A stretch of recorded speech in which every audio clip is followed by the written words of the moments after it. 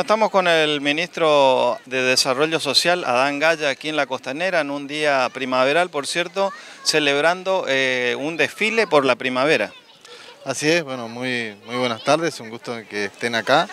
Realmente así es, acompañando a, nuestros 34 CDI de, la capital, que se celebra el Día de la Primavera con, con un desfile de carrozas con cada una de nuestras instituciones, así que realmente acompañando este esfuerzo, este sacrificio de, los docentes, de los alumnos y, también de los padres. ¿no? Yo creo que de esta manera es la forma que, tenemos que acompañar, no solo en lo que tiene que ver con cada una de las instituciones, cómo se lleva adelante, pero sino también en este tipo de acontecimientos, de eventos, que, que sientan que las autoridades que circunstancialmente nos toca dirigir, estamos, acompañamos y, hacemos parte de este momento tan especial en el Día del Estudiante. ¿no?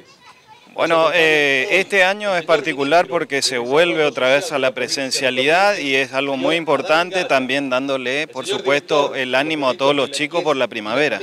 Claro, claramente, ¿no? El hecho de que este año hayamos podido volver a las aulas y a su vez después de dos o tres años poder hacer nuestro desfile tradicional acá en la Costanera Sur con cada una de las carrozas, con cada una de nuestras instituciones, creo que, que motiva, creo que nos permite eh, claramente estar feliz en un día tan, tan especial para los niños, ¿no? Así que, que bueno, y hace muy poquitos días y, fundamentalmente en el Día del Estudiante, el, gobernador toma la decisión de que el uso del barbijo deje de ser obligatorio, lo que no significa que sí, fundamentalmente todos los correntinos, todos los argentinos hagamos el calendario de vacuna que es fundamental, que cuidemos en ese sentido. Pero bueno, hoy acá en un día maravilloso, en un día realmente primaveral, acompañando a nuestros niños. También con el paso aquí por la costanera de carrozas también que van a un poco darle el brillo a esta primavera.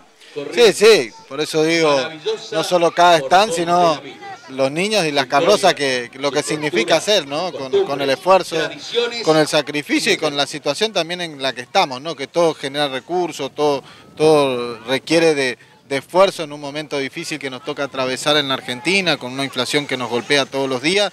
Pero bueno, la fuerza de voluntad, el acompañamiento institucional por parte del Estado, en este caso del gobierno provincial, eh, acompañando a nuestras instituciones realmente importantes de la capital, hacen que hoy vivamos un día primaveral y fundamentalmente de fiesta para nuestros niños y sus padres y aquellos que vienen a disfrutarlo.